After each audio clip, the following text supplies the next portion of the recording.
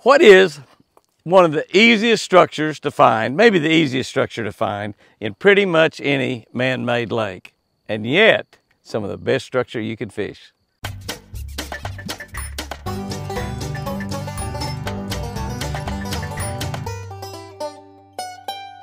Good morning, guys and girls. April 15. We used to call that tax day. Now, that's the day you're supposed to have your income taxes in. A lot of that's been changed with the pandemic. A lot of it's been changed with filing extensions and all that. So I really haven't heard it called tax day in, in a while. Uh, we're looking at April 15, Colossians 3 2. Reading from Catch a Better Life book. This is our new devotional book. We just spent about two years writing it. Actually went on sale, I think April 5 or April 6. If you haven't got a copy yet, check it out on jimmyhouston.com. Colossians 3 2 says, Set your mind on things above and not on things here on this earth. Set your mind on things above. Here's what I wrote about that. I define a structure as any object that is different from or breaks up the water's bottom or the water's surface. That's what I define as structure. This can be rocks, it can be brush or docks, it can be humps, roadbeds, creek channels, even an old sunken boat or a bridge that they've torn down and let fall into the water. Obviously, some structures can be better than others. Our thoughts are exactly like those structures. Some are better than others. And can I tell you, your thoughts, your thoughts, my thoughts, control the type of people we become. Our thoughts control the type of people we become. Today's scripture reminds us that we can set our minds on what is really important in our lives. We set our minds on the important things.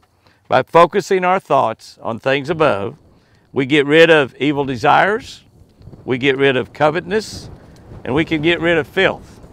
We are less prone to be anger.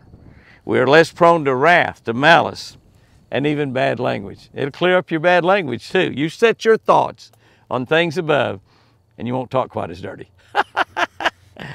the list is long of the things that will improve in your life by simply setting your mind on things above, like it says here in Colossians. So, what do we set our minds on? If we're not going to set our minds on the things of this earth, what are we going to set our minds on? What should be our inner disposition?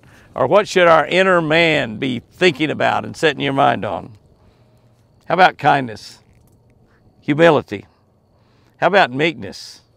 What about tender mercy? When somebody messes up in your life, how about showing them a little mercy? Forgiveness? Patience. Patience. Oh, Lordy. Set your mind on patience. That's a big one. And love, which is probably the most important of all. Thinking on and practicing these heavenly traits will make us better husbands, better wives, better fathers, better mothers, better friends, better people. You'll be a better person that is having a better life.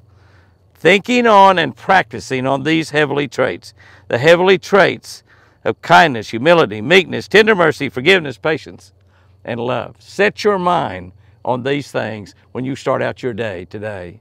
When you start out your day tomorrow, you're going to be a better person. You're going to have a better life.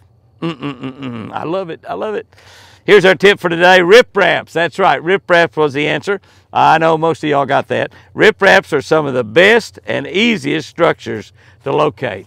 Ripraps are very easy to find on just about any, just about any man-made lake. You got ripraps around the dam. Early in the year, that's very definitely where you want to go. Go down around the dam, fish some of the pockets there around the dam, points and coves and stuff back in there. But ripraps will produce any time of the year.